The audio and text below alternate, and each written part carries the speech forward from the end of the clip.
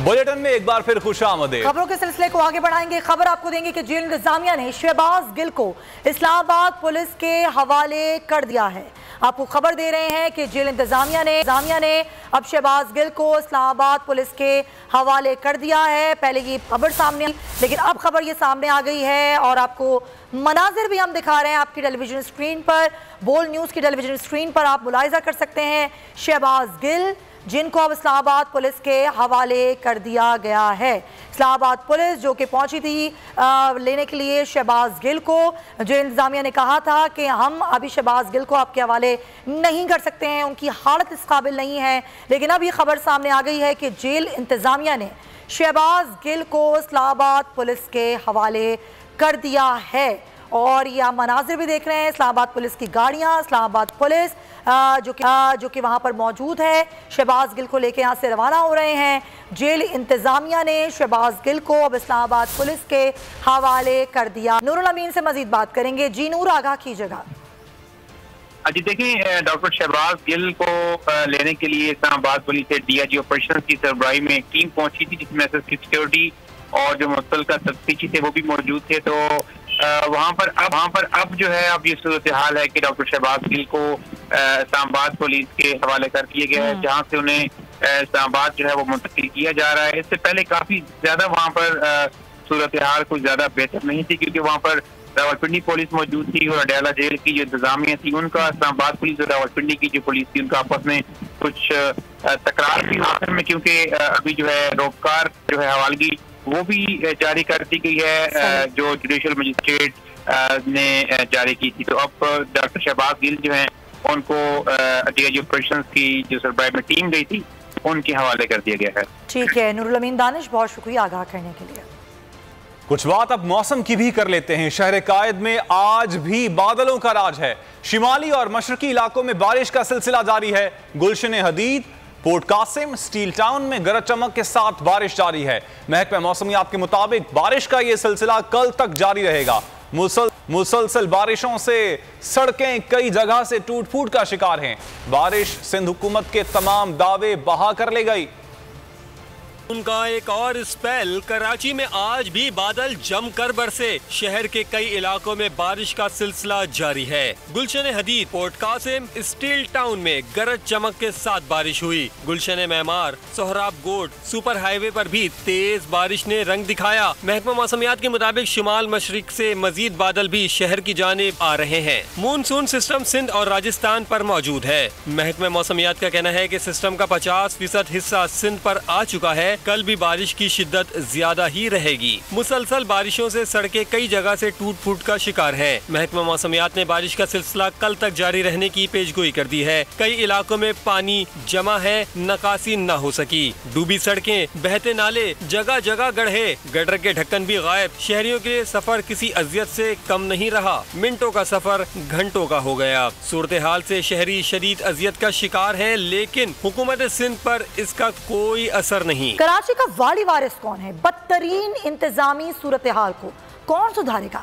चंद घंटों के बरसते बादल शहर, शहरियों के लिए दिनों का अजाब बन गए हैं। लेकिन बिगाड़ को बेहतरी की तरफ़ लाने वाला कोई नहीं। शहरी किसको पुकारें, किससे फरियाद करें, सुनने वाला कोई नहीं। एडमिनिस्ट्रेटर मुर्तजा वहाब को कुछ नज़र नहीं आ रहा। ना किसी को मुर्तजा वहाब दिखाई देते हैं। कराची का एडमिनिस्ट्रेटर कौन? कहा है? ज़िम्मेदारी क्या है? कराची में मानसून का पहला स्पेल शहर को तहस नहस कर गया। ट्विटर कराची घर से निकले, तारिक रोड शारा फैसल से आगे ना बढ़े। सड़कें बह गई, हादसा हुए अमवाद फिजा सोपार कर गई लेकिन मुर्तजा बहा चमकती शारा फैसल और तारिक रोड तक आए, खुद ही मुतमिन हुए और घर चले गए। औरंगी कोरंगी, सरजानी, शाह फैसल समेत कई इलाकों में मौत बांटता रहा। लाशें तैरती रही, मुर्तजा बहा लापता हो गए। चौथे स्पेल के बाद शहर की सड़कों पर मौत के कुएँ बन गए संकीन हादसा मामूल बन गए। लेकिन मुर्तजा वहाब बाहर न निकले। पांचवा स्पेल शहरियों के लिए बड़ा इम्तिहान बन गया। मिनटों का सफ़र चार चार घंटे तवील हो गया। मलिर नदी कॉजवे काला पुल समेत कई इलाकों में बारिश का पानी मौत के गढ़ों ने सफ़र दुशवार तरीन बना दिया। लेकिन मुर्तजा वहाब को कुछ नज़र आया, न मुर्तजा वहाब किसी को नज़र आए। मुर्तजा वहाब कहाँ गए? रास्ते के बावजूद रास्ते में क्यों नहीं आ रहे? और कराची में मुख्तलिफ़ इलाकों में तेज बारिश के बायस ट्रैफ़िक शदी जाम है। जाम सादिक ब्रिज पर ट्रैफ़िक का दबाव है, पाव है। ब्रुक्स चौरंगी पर भी ट्रैफ़िक जाम है। ट्रैफ़िक हुकाम का कहना है कि शारा फैसल एयरपोर्ट जाने वाली सड़क पर ट्रैफ़िक का दबाव है। तफसीलात मालूम कर लेते हैं मजीद। बोल न्यूज़ के नुमाइंदे मोहम्मद सलीम से। सलीम, इस वक्त करंट सूरत हाल क्या है? हाँ जी, बिल्कुल देखें, शहर कायद में तेज़ बारिश के बाद ट्रैफ़िक शदीद जैम हो चुका है।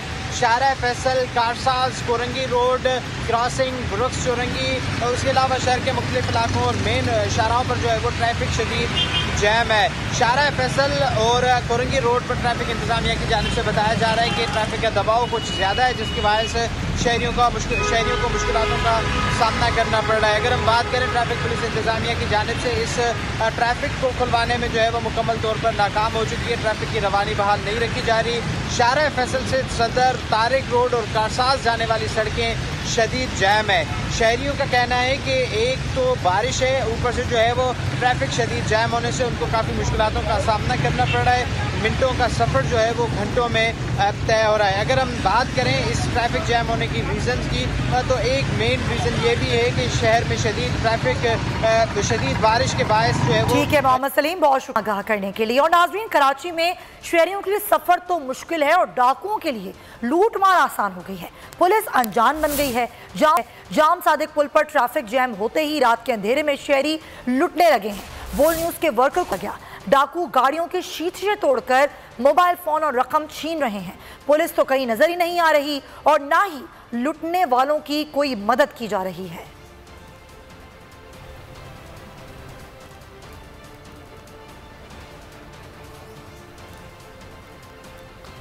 कराची में शहरियों के लिए सफ़र मुश्किल हो गया है, नाजरीन, लेकिन डाकुओं के लिए आसान हो गया लूट मार करना।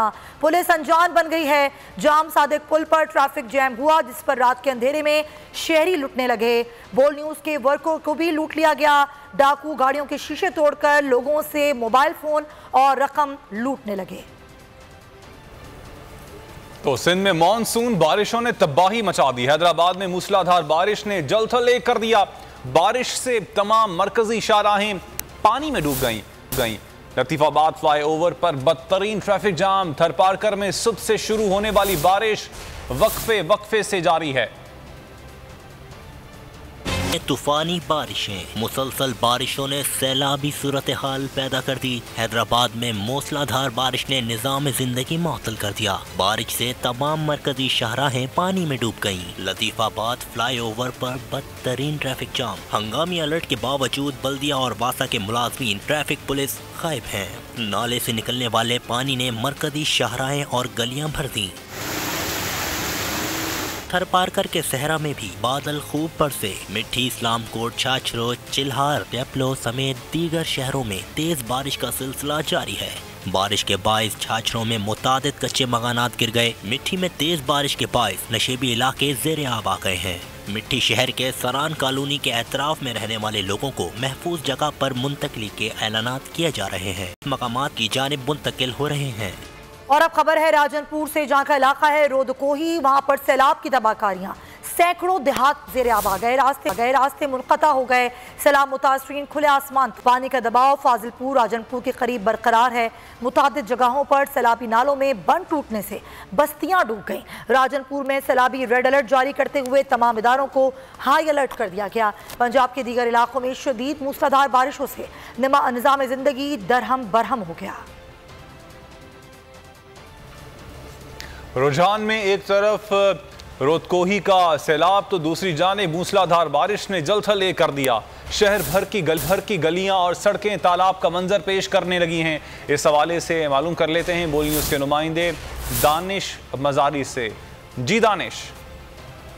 जी, बिल्कुल, रुझान ने रोज कोई के सैलाब ने बड़ी सतह पर तबाही मचा दी थी। यहाँ पे जो है ना, सैकड़ों की तादाद में बस्तियाँ सफायस्ती से मिट गए थे। हज़ारों एकड़ अराजी पर खड़ी फसलात तबाह हो गए। लोग बेजारो मददगार। खुले आसमान तले ज़िंदगी गुजारने पर मजबूर थे। अगर दूसरी जाने बारिश की बात की जाए, मौसम के हवाले से बात की जाए तो दोपहर से शुरू होने वाली मूसलाधार बारिश का हाल रुझान में जारी है। रुझान के जो गली मोहल्ले हैं, जो सड़कें हैं, इस वक्त तालाब का मंजर पेश कर रहे हैं। शहरी हमारे साथ मौजूद हैं। वो क्या कहना चाहते हैं इस बारे में? जी सर, सुबह से यहाँ बारिश हो रही है। एक तरफ़ बारिश है, दूसरी तरफ़ सैलाब आया हुआ है हर तरफ़ तबाही तबाही है लोग नकल मकानी कर रहे हैं। जी जैसा कि आपने शहरीों के मुताबिक सुना है एक तरफ़ सैलाब भी पानी ने तबाही मचा दी है तो दूसरी जानब मौसम की वजह से जो बारिश का जो सिलसिला है जो रुझान सिटी के शहरी दानिश मजारी बहुत शुक्रिया। के लिए।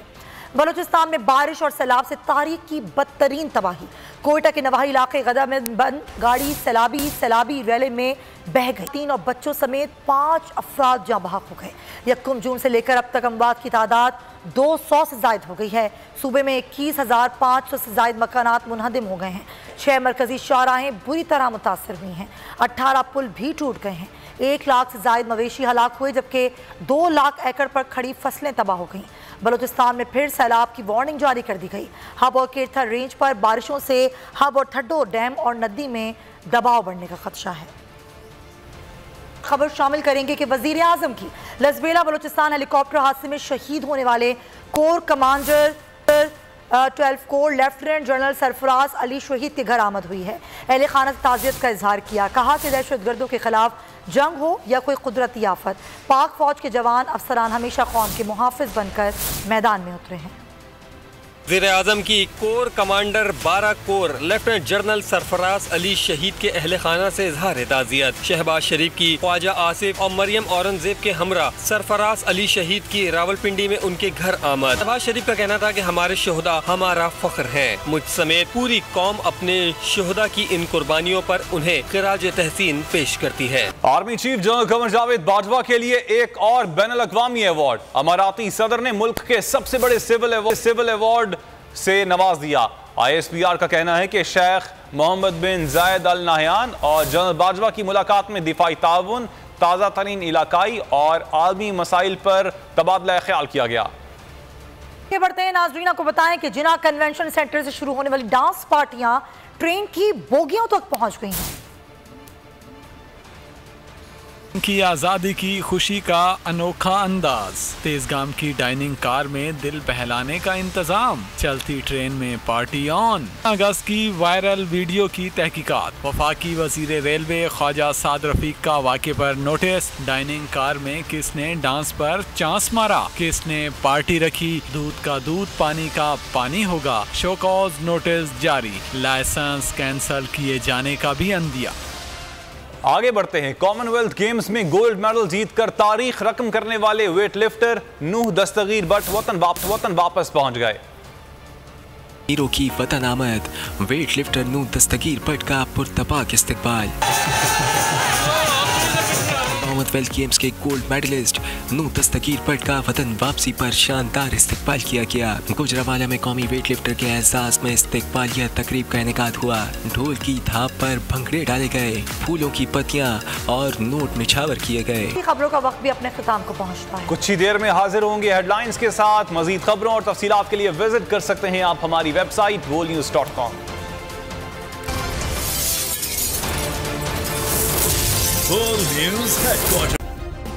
सब्सक्राइब करें और बेल दबाएँ ताकि कोई खबर रह न जाए।